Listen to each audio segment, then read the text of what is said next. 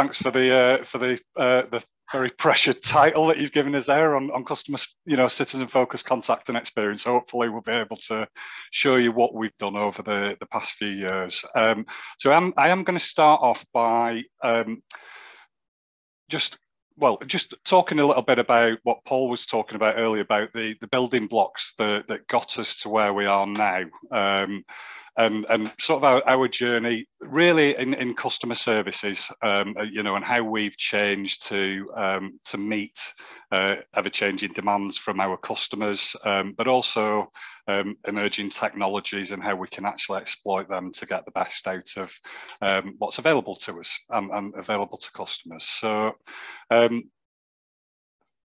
as when I was preparing this um, presentation, I was starting to look back at, at, how we actually started in customer services back in 2004.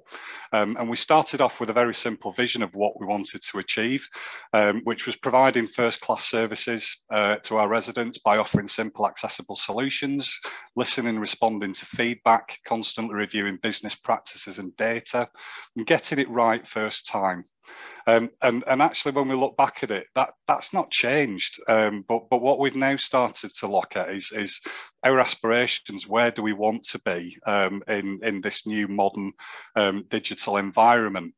Um, so so we want to have highly satisfied engaged residents accessing services via the channel of the choice, um, in no particular order website, um, you know, self-service, um, web assistant, uh, which is our automated chatbot, which I'll be going into in more detail, supporting customers through chat, social media, Google Business Services, SMS.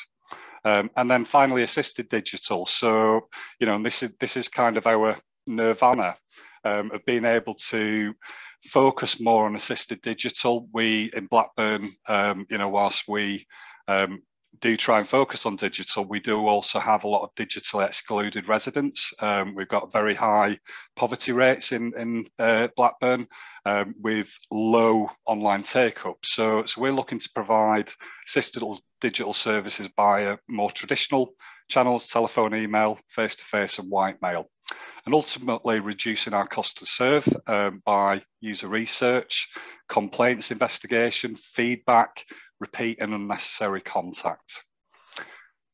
So some of the challenges that we faced, um, and this is the same for everyone. Um, you know, when when austerity started in the early uh, 20, well, in in 2010, 2011, um, you know, we had significant budget and, and resource reductions, but we also had the same staff, uh, sorry, the, the same demand, but, but using less staff. And, and we had to reduce our opening times.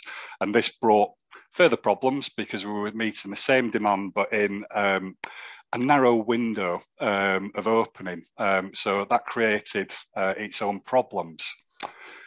And some of those budget and uh, resource challenges we're going to start seeing again, uh, you know, during post-down, post-lockdown recovery. Um, We've seen changes in customer behaviours, uh, emerging channels. Um, so things like social media, web website, chat. So when we started getting into austerity, you know, customers' behaviour started to change as well, and we had the the likes of Amazon, EasyJet to thank for for the the sort of the high demand or the, the on-demand services that they offer in people expected that from local authorities. But at the time we weren't necessarily mature enough to actually be able to adapt to some of them changes.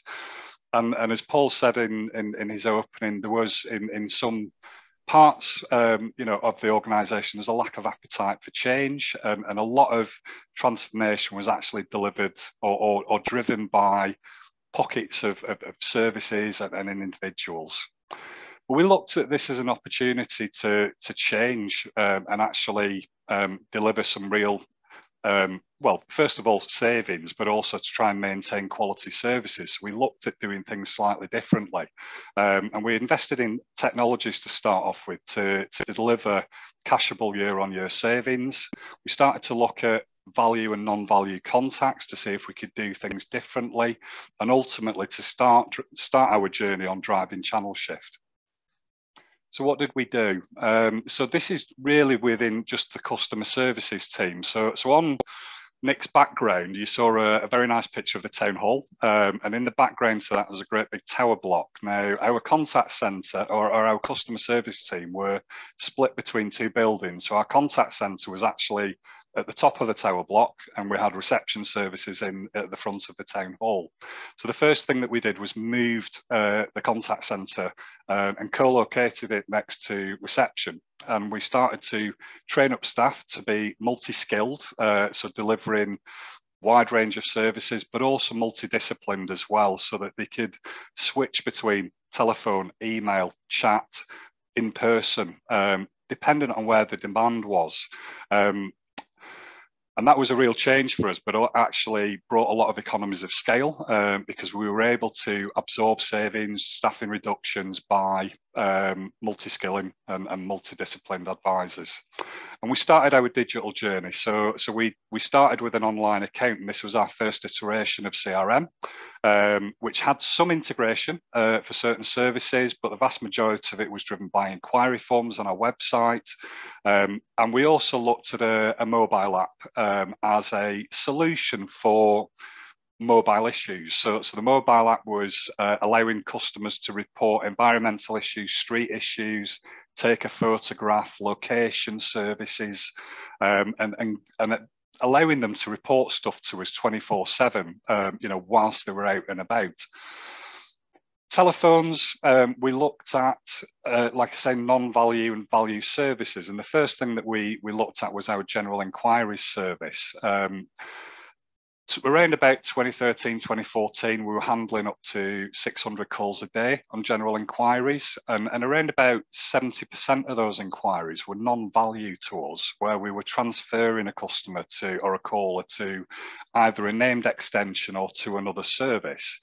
Despite offering um, menu options for, for our uh, most frequently accessed services. So we, we procured and, and, and, in, and um, implemented an automated switchboard on our main number, uh, 585585. And what that allowed us to do was actually take away those non-value services. Our customer service team, our, our contact centre staff, all handled general inquiries on top of their existing um, specialised areas. So automating it actually freed up more time for them to be dealing with what we, we classed as value services, um, you know, where they were supporting and engaging with customers on, on whatever their inquiry was. And that very quickly turned uh, the volume of calls that we were handling on the automated switchboard to now we're, we're handling less than 100 calls a day. Um, so it varies between 8 and 100. So we've had a significant reduction in very short non-value calls um, and customers are able to get directly through to where they want to speak to um, you know, with a few words. So we have um, uh, phrase recognition on it. Uh, so if someone, you know, wants to speak to us about council tax, they can, you know, we have people ask for Maggie tax, poll tax, local rates. It recognises those phrases and it put, puts them through. And we've done a lot of work with services and departments to understand what customers will ask for for their particular service to ensure they're being routed through to the right place. We've also used voice forms um, quite extensively on simple transactional um, requests. Um, we, we started looking at this on our environment services. Um, a couple of really good examples of where we've deployed these um, are misbin collections or misbin reports um, and uh, bulky item removals. So prior to us using voice forms, uh, they were on-demand services. Customers would go through to an advisor, and, and, we were looking at things like average handling times, and they were taking around about four and a half minutes to complete that service request. Part of that call was was rapport building, um, you know, and, and actually when we we looked at actually the the, the, the, resolution side of it, it was taking around a minute. So, so what we did with the voice forms was was replace that, that human interaction um, and opened up those reporting lines 24 7. Um, and that helped us to manage uh, peaks and troughs in demand. So, you know, misbin reports, we tended to see a lot of people ringing up first thing in the morning.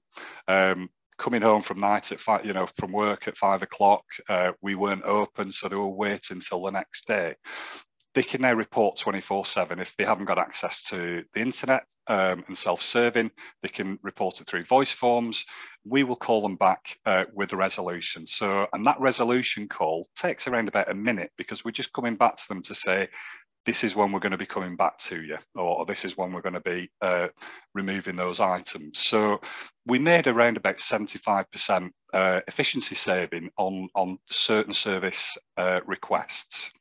And the other thing that we did to manage demand with reduced staffing levels, we saw increased queue times, abandon rates. So we introduced callback facilities uh, in queue. Uh, so whilst people were waiting, they were given the option to request a callback by pressing one. Initially, we used voice forms uh, to do that, um, and we responded within 24 hours. But in the last 18 months, we started using uh, a queue buster facility, which simplifies that process a lot.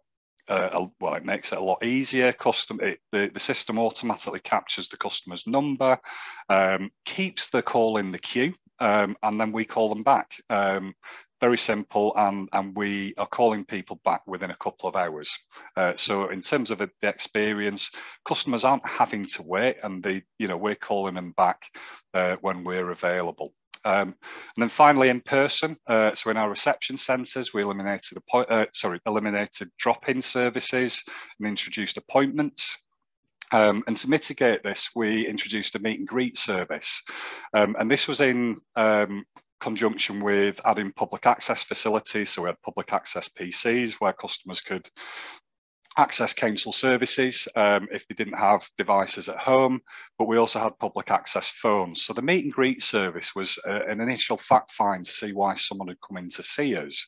And the, the, the staff with um, who were meeting and greeting had tablets, Bluetooth uh, device, uh, Bluetooth headsets, um, and they had access to things like uh, queue data, uh, so they could see whether the telephone lines were busy, um, and they were able to offer alternatives to customers. But also when we had corporate visitors, um, because they were mobile, staff were able to ring um, uh, a meeting organizer to let them know that visitors were were here um, and and it just made the, the whole process a lot smoother. Um, and with all of this, we uh, we redeployed staff, so we kind of changed what they were doing. So rather than fulfilling a lot of requests, um, staff uh, in the reception areas were providing floor walking support in our public access facilities and helping people to self-serve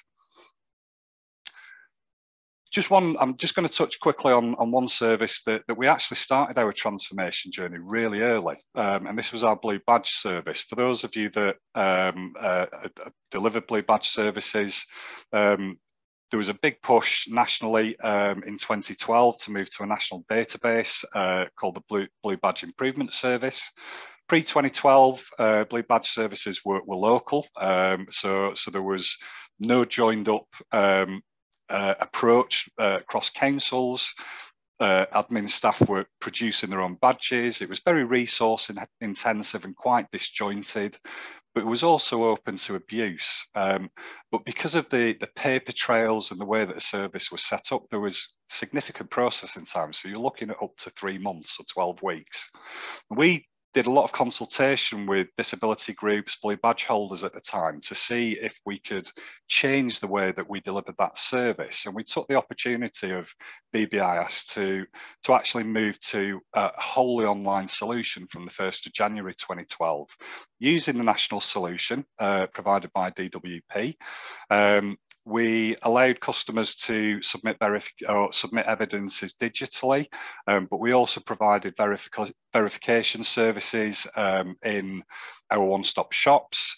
And in the contact centre, we provided assisted digital services. So for people that didn't have access to um, online. Um, they could ring up, we would make an appointment, and we would complete the application form over the phone with them. Um, well, the first thing that we saw within a couple of months was was processing times reduced into four to six weeks because um, the, the, whole process was a lot slicker. Um, but the other thing that we saw initially with the assisted digital service was that around about 70% of the applications were submitted through digital assistance, um, 30% uh, self-service, and that led to delays in, in appointments. Um, and very quickly we saw customers adapting to, to the way that we'd uh, change the service. Um, and we're getting help from family, um, friends, people in the household to submit applications to the point where we are now, it, it's very well established, and, and customer blue badge holders are through their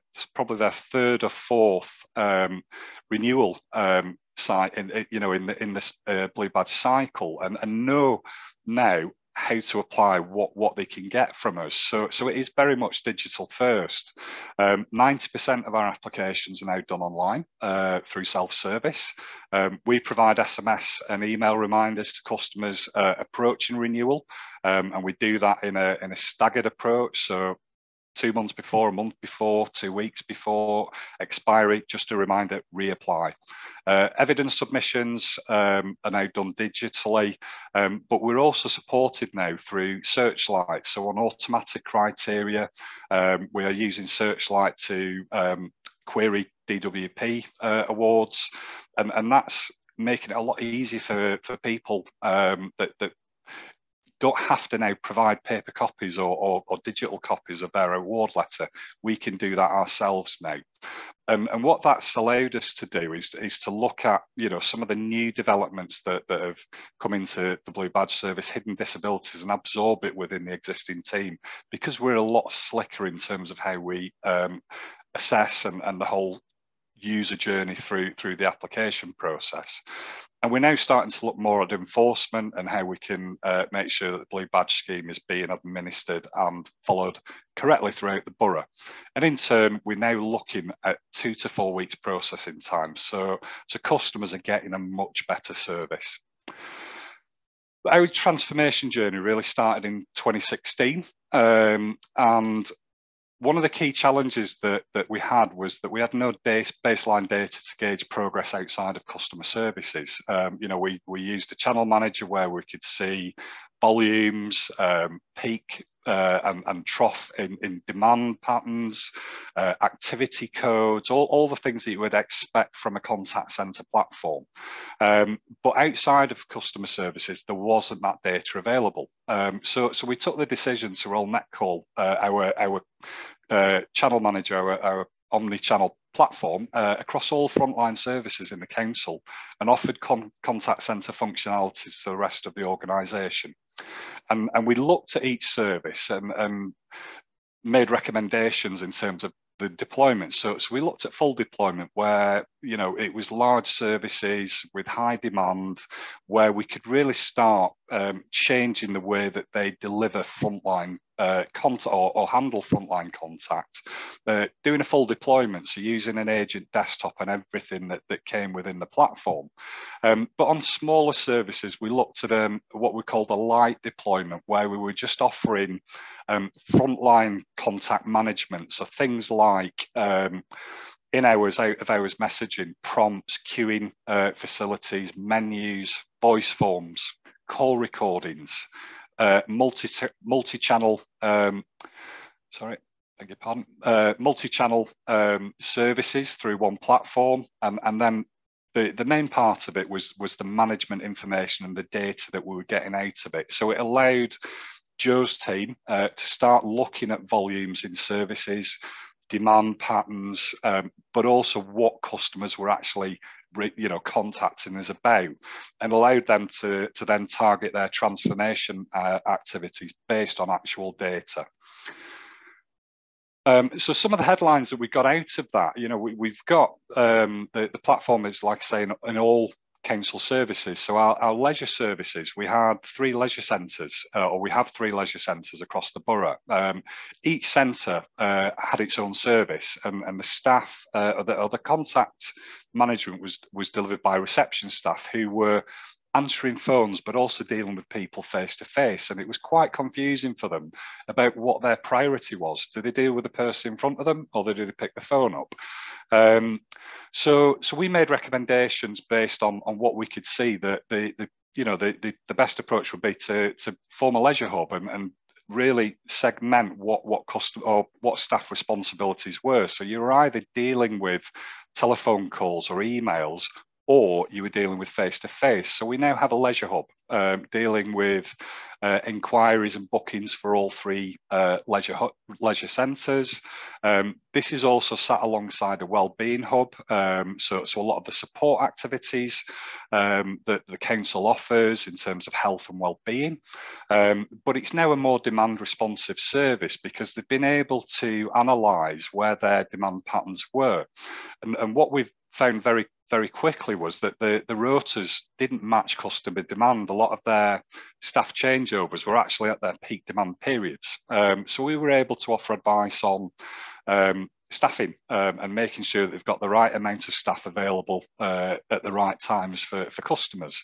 But they've now started to look at um, uh, more proactive stuff. Um, you know, it's a very commercially focused uh, service, different to a lot of other services we offer in the council because they're competing with with you know likes of DW Pure Gym. So so they you know they're looking at what value added services they can offer to their customers. Um, so, so we're looking at things like proactive me messaging, um, you know, advertising classes um, that are available, um, you know, and, and um, uh, looking at new channels as well. So we're looking, you know, web chat, um, online services. So, so that was a real change for our leisure team. Uh, we also have two major concert venues uh, in the in the borough. We've got King George's Hall and we've got Darwen Library Theatre. Very similar to leisure services. They were independent of each other. Um, so so we moved towards having a booking hub for both services. It allowed them to build capacity. So, so when one was busy uh, and the other one wasn't, the staff were supporting each other. Um, and again, you know, we've started to use, or they started to use proactive messaging for things like on sale activities. So, so when we know that we've got a, a big on sale event coming on, um, you know, we've got messaging on there to let people know when pre sales are, when uh, tickets are available, and actually when they've sold out. And, and the, the venue staff can control those messages themselves. They've got that flexibility to be able to, to make changes very quickly based on what's happening. Um, and they, again, have also started looking at marketing messages uh, within queues, but also um, pre-transfer uh, to an advisor, advertising um, upcoming events. Another one that we looked at was elections. Um, and this was driven by um, local elections in 2013, um, where we were having to, we knew that in build up to, to elections, demand went significantly through the roof for the for the elections team, and um, we were drafting staff in from other parts of the organisation to, to support support the increased demand. Um, so in the next local election, we we we looked at doing things slightly differently. So we introduced um, voice forms for electoral registration. So rather than it being an on-demand service, someone sat at the end of the phone, it was an automated service because all we were doing was capturing five bits of information, uh, the name, their address, contact details, national insurance number and the date of birth. Um, and voice forms allowed us to capture that information, register someone for um, uh, electoral vote or for voting, and then they get a notification within five working days with their um, uh, electoral uh, registration card. Um, so we, we, were able to manage demand um, within the team during that election and reduce calls during the, the six week period up to the election from around about 6,000 yeah. in 2013 to 1,500 in 2015. And then we started to develop uh, templates for local and general elections, which can be switched on when you know whenever we know that there's an election coming up. We've also introduced web chat so that they can uh, deal with simple transactions through the web. So am i registered? Uh, yes. Um, you know so it, rather than a phone call waiting in a queue people can self-serve um, and, and, get a, a, very quick response through chat. Um, but we also do things like seasonal campaign management. So household inquiry forms uh, are sent out every year. We have pre-built messages that are turned on prior to uh, that activity starting um, and help us to manage demand through those periods through informational messages. Some of the other benefits that it's it's brought across other parts of the business, um, it's allowed us to build capacity within teams. So we've tried to nest services together um, within directorates um, and frontline services. They're all within one call group, um, and it's it's a case of um, changing priorities, changing skills if, if you want to add or, or remove people from a particular service within a group. Um, we were very quickly able to push um, new GDPR messages out on, on all service lines. Um, the one thing that it has, one of the big benefits is delivered is effective complaints management through call recording, um, something that wasn't available outside of the contact centre prior to doing this. Um, and that's allowed us to um, be able to respond in, in a more positive and a more effective way when, when dealing with complaints. And it's helped us to build contingency planning as well. So each of our sites now has an emergency evacuation mode. So, so if a building is evacuated, um, as someone is leaving a building, they can be switching the telephone lines off uh, via a mobile device and letting people know that, that we're not available to take their call at the time. Um, and we, we're starting to build demand responsive messaging as well. So some of our internal services, our IT help desk, uh, whenever they've got, you know, if there's any issues um, around the network, they can very quickly put messages on the front end of the system to stop some of the unnecessary calls coming through to them. Uh, so, so we're taking a more proactive approach to telling people uh, what's happening and, and what we're doing about it. Um, but one of the uh, well, it's one of the benefits, but also one of the problems, I suppose, is is that it's it's created a lot more demand for for functionality. So so we started off very slowly, you know, with telephone lines and emails, but people, as they got used to what they could actually do, wanted more. Um, you know, which was great, but created a lot of extra work. Um, and one of the big benefits, starting to reflect on, on last year, um, because we'd rolled Netcall out right across the organisation, um, when uh, lockdown hit and we started looking at our response to that, which which Joanne's going to uh, talk about in a lot more detail uh, later on. Um, because people were used to the, the telephone system that, that, that we had in the contact centre, we were very easy, it was very easy for us to parachute uh, staff in from other parts of the organisations to support our COVID help hub. Um, so, so our timeline, uh, you know, in the first few days after the national lockdown, 23rd of March, we, we identified staff in areas affected by closure. Uh, so, so our reception staff, uh, leisure services staff, venues staff, finance, business support staff were all parachuted into the to the COVID help hub. Um, 24th of March, the day after, we did staff training on, on FAQs and also the systems that we were going to be using.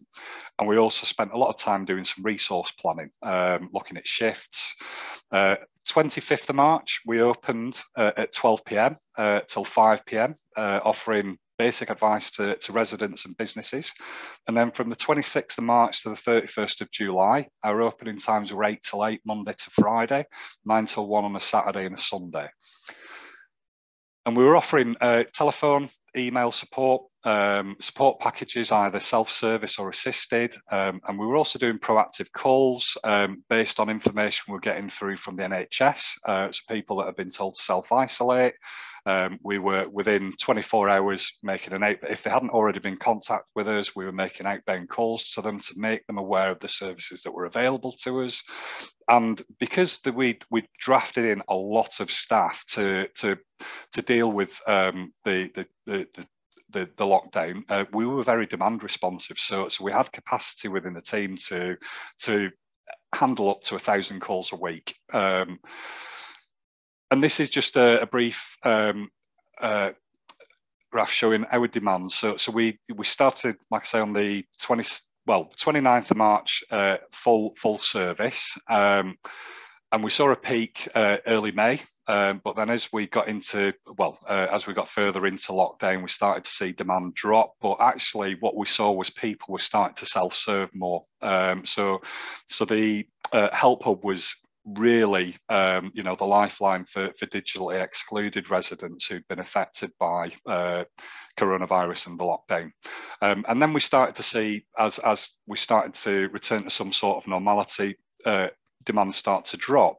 But what we also saw at the same time was an increase in demand on, on normal services. And at the beginning of June, uh, as an example, we opened up our TIPS, our, our household waste recycling centres, um, but it was a booking service only. Uh, so we redeployed some of the staff from the Help Hub um, to handle tip bookings. um, and, and other services that we were offering as we started to, to recover. Chat services uh, was something that we started to uh, offer in March 2017, um, and this was a live chat service. So, um, you know, it was an on-demand service via our website, available on benefits, blue badges, council tax, general inquiries, highways, household waste and recycling, and parking services we didn't advertise it. It was it was a very soft launch, um, and the the service was only available during office hours, and it was only available on these service pages. So customers had to find it. Um, so we saw demand uh, start off very slowly um, in in 2017, but as we started to um, as well as customers started to find it we started to promote it, we, you can see the growth that we've seen throughout 2019 2020 as you know was was quite unique. We saw significant growth um, during lockdown. People didn't want to talk to us. They were they were engaging more digitally. Um, but that started to tail off towards the end of the year um, and then started to, to build up again this year. And I'm, I'm going to talk a little bit more about uh, the increase that you can see in March 2021 uh, and through to the present day uh, later. But below here, I'm just showing you uh, our telephony demand. Um, so you can see that, that, you know, the introduction of chat, um, but also the introduction of uh, the, the web development and online offerings um, stimulated channel shift. Um, you know, we've seen a reduction in calls um, as a result of, of chat being more widely used. So we had a big, big increased, uh, a big demand through the, the pandemic and tailed off as things got back to normality. Um, so in March, uh, well, April 2021, uh, we uh, started using a new product called Web Assistant, uh, available through our channel, uh, our platform. Um, chat, the chat box is now available on every single page and it's available 24 7 so web assistant is very basic chatbot um, but it's it's natural language learning um, and, and constantly updating itself um, and what we wanted to do was to maximize the, the, the, investment that we've made in online services by supporting residents to stay online. So we didn't want uh, you know, customers to be going onto our website to find a telephone number to find an email address. We wanted them to stay on the website and support them uh, on there through through a digital channel. So we've offered the same services uh, that we had on our, our, our old web chat services, um, but what we've since done is with our general inquiries is to gauge what else we need to cater for. So because the, the chat box is now available on every page, customers are asking us lots of questions that they didn't ask for before. And it's allowed us to look at what else we can start to put on uh, the web assistant. So we, we, we're engaging with our school admissions team, planning, business rates, registration services and licensing teams to start in, uh, enhancing, enhancing the offering that we've got through Web Assistant to support people on those services as well but with their inquiries then being escalated through to that specific team. Uh, so again, changing their demand patterns from traditional telephone email channels to, to more digital uh, offerings. And since March 20 or April 2021, this is just a graph that shows um, the, the amount of contact that's been handled by Web Assistant compared to a live agent. So up until March 2021, uh, it was 100% live agent. Um, but as we've started to develop uh, the Web Assistant and the, the Web Assistant is starting to learn more about uh, what what services we offer. Um, it's starting to do more, and we're now at a point where 25% of um, website or, or web uh, assistant transactions are handled by live agents, 75% by our web assistant, and customers are finding the information and are being guided to where they can do stuff uh, uh, through automation. The next steps that we're looking at with the web assistant um, is to integrate it with Facebook, Twitter, and Instagram direct messaging, SMS, and Google Business Services, and enhancing the machine learning natural language chatbot as we offer more services. So it's constantly learning about the new services that uh, we, are looking at now, and we're programming it to be able to deal with around about 80% of the inquiries um, that, that customers will, will fire into that particular service. And this is just a quick look at how our web assistant looks. So it's positioned in the bottom right hand corner of every page. When you click on it, um, first thing it'll ask you is for your name and for your email address. The reason we ask for that is that once someone's actually registered, um, it then uh, remembers uh, that customer's interaction, that customer's details. So next time they engage with us, and it doesn't matter which channel they engage with us through uh, on, on the new channels that we're looking at, they will be able to see their full conversation history. Um, and, we, and, you know, and as advisors uh, and as a customer service team, we can see that as well when they come through to us. And it's just one continuous conversation, very much uh, the WhatsApp approach. Um, but we also have some uh, pointers in there for, for customers. So we've got our top uh, inquiries on there. None of the above takes us through to our general inquiries team. So if, and if the web assistant can't answer the questions uh, or the inquiry, then it'll escalate through to a live advisor. So what we're focusing on now is very much around customer experience. Um, the first thing that we, we're doing is, is to change the job title for our frontline staff to reflect our approach. So, so they're now going to become customer experience advisors uh, rather than customer service advisors. We want them to be giving our customers their best experience when they're ringing through to us, no matter what the circumstances, no matter what their inquiry. So we're using new functionality in our contact center platform to, to start gauging customer experience. So we use an agent evaluation um, within the Netcall platform, um, and that is linked to surveys. So, so we're also starting to look at uh, pushing out customer surveys to, to understand their satisfaction and their experience across multiple channels. So, so in call, um, emails uh, at the end of a chat, but we're also looking at what we can do to enhance um, web services as well and, and gauge customer satisfaction uh, and user experience on our website. But agent evaluation being linked into satisfaction allows us to, to monitor calls where customers have rated them poorly. Um, you know, so we want to understand why customers didn't feel that they, they had a good experience. Now, now we also know that in some circumstances, it's nothing to do with the advisor. Uh, it's actually they're not happy that they've been given a penalty charge notice or we've missed their bin or we've sent them a council tax reminder. And that allows us to start understanding um, why customers are unhappy, but where we are seeing service failure uh, and failure demand, it's going to allow us to address it in a more proactive way. Um, we're using real-time feedback that allow us to take that proactive approach to our resident experience. And, and one of the things that we're starting to do is to draw together a lot of the data that we've got available throughout the authority using Power BI um, so to provide true customer insight into um, our, our resident uh, experiences. So, so using Netcall, Google Analytics, our CRM system, back office systems, but also uh, combined with user research, which again, Joe is going to go into in more detail.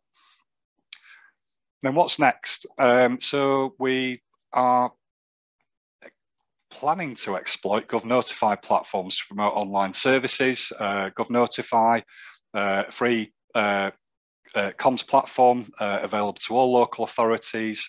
And if you put the right case forward, you can have as many accounts as you like. So we're looking to use GovNotify to send proactive emails out to, to customers um, when they choose, for example, uh, missed, missed bin collections. If they've called in from a mobile phone, we're going to text them with a, a link to where they can actually do this themselves do this themselves but asking a question, has that helped you? If not, they can still speak to an advisor. But we want to start pushing and, and like I say, getting the most out of our investment in online services.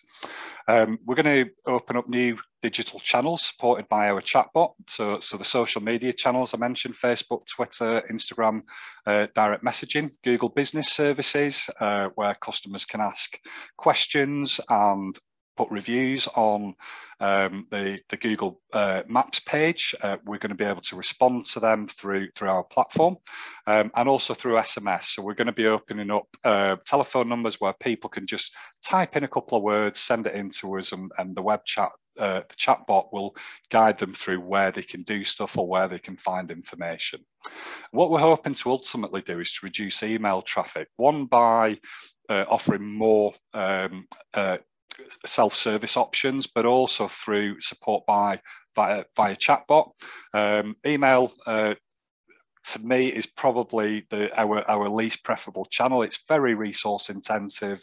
Um, you know, open-ended, um, un unscripted emails coming from customers where we're not necessarily getting all the information that we want. We want to be going down a more focused approach of, of actually getting what we need from customers to be able to resolve their inquiry at first point of contact and all this is going to allow us to, to focus uh, more on in-person uh, in-person assisted digital services as things return to some sort of normality. Um, so again, we're looking at uh, appointments, but offering reminders uh, via SMS using the Gov, GovNotify platform.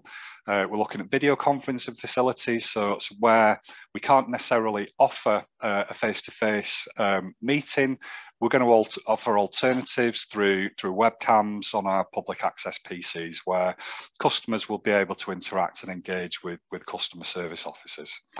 And, and, we're also looking at potential uh, co-location with our, our main library in Blackburn to have supported public access solutions. So at the moment, we have a public access solution in, in our town hall, but we also have a, a massive digital offering in our libraries, and we want to join those up um, and have customer service staff supporting people uh, on all of the public access uh, PCs.